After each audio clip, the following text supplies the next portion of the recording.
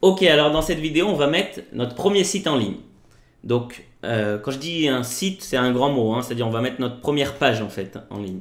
Donc, ce qu'on va faire, on va quand même créer un petit dossier. On va l'appeler site principal.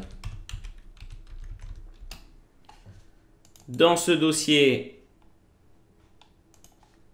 on va créer, on aurait pu créer le fichier HTML directement avec brackets, mais je vais le faire depuis l'extérieur ceux qui ou qui ont un autre éditeur de code. Voilà, maintenant je vais l'ouvrir par contre avec brackets. Je rappelle que vous pouvez utiliser n'importe quel éditeur de code, hein, ça fera l'affaire. Surtout pour ce qu'on va écrire, on va pas aller très loin dans le code. Juste histoire de mettre quelque chose en ligne. Voilà, donc HTML. Je rappelle qu'une page HTML, elle a une tête et un corps. Donc body. Voilà. Euh, qu'est-ce qu'on va mettre maintenant dans notre page HTML On va mettre un petit paragraphe. On va écrire mon site est en ligne. On va rajouter sur john.compteweb et vous mettez votre, votre nom de domaine à vous. johncompteweb.com. Euh, voilà, c'est tout. Bon, juste pour qu'il se voit, on va changer un peu le style. Directement sur le tag. Faire style. Color, on va le mettre en bleu. Font size, on va le mettre à 40 pixels. Le centré, text align center et margin top pour l'espacer du rebord de 100 pixels. Voilà pour notre petite page HTML, donc index.html, on l'a mis dans le dossier site principal. Donc maintenant on va la mettre en ligne. Donc on reprend FileZilla, on rafraîchit, voilà, et maintenant il nous montre notre dossier site principal hein, qui est sur notre desktop.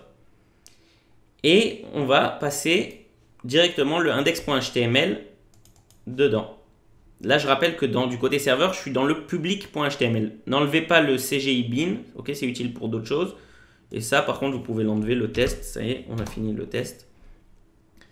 Voilà, donc, euh, une deuxième chose que je voulais dire, c'est que le index.html, il a une particularité. pourquoi on appelle notre page index? C'est bizarre comme nom. C'est parce que c'est une convention qui permet, lorsqu'on appelle un dossier, et qu'il y a dedans un fichier index.html, et eh ben, il sera directement ce fichier-là précis lancé automatiquement.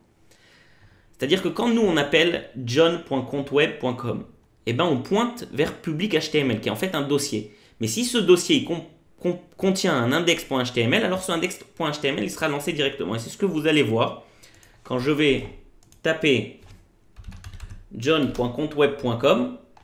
Voilà, mon site est en ligne. J'ai dû faire une petite erreur dans le CSS parce que c'est pas... Ah, j'ai mis une virgule au lieu de mettre un point virgule. Voilà. Vous voyez quelle facilité. Je vais juste le remplacer, donc je reclique dessus. Il va me dire est-ce que je veux le remplacer? Alors là, vous pouvez choisir les options par défaut et vous pouvez lui dire que lorsque vous avez décidé de le remplacer, toujours effectuer, effectuer cette action. Voilà, donc là, je vais lui dire ça. Et il va me remplacer le index.html.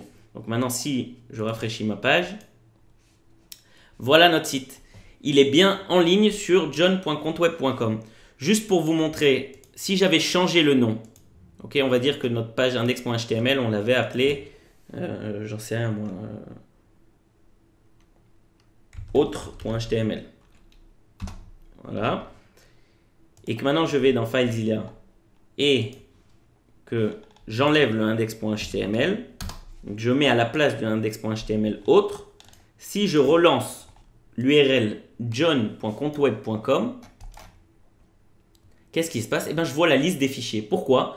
Parce qu'il y a dans ce dossier john.compteweb.com, qui est en fait le public HTML, il n'y a aucun fichier qui s'appelle index.html et donc qui serait lancé par défaut. Donc tout simplement, il me montre le contenu. Ok, sachez que maintenant, ce contenu, vous vous dites peut-être, il est visible par tout le monde, tout le monde peut voir l'intérieur de ce qu'il y a sur mon serveur. Il y a des façons de protéger, euh, on va pas voir ça ici, mais vous pouvez protéger vos dossiers avec les droits d'accès aux fichiers. Bon, je vais quand même rechanger et mettre l'index.html. Tchic tchac.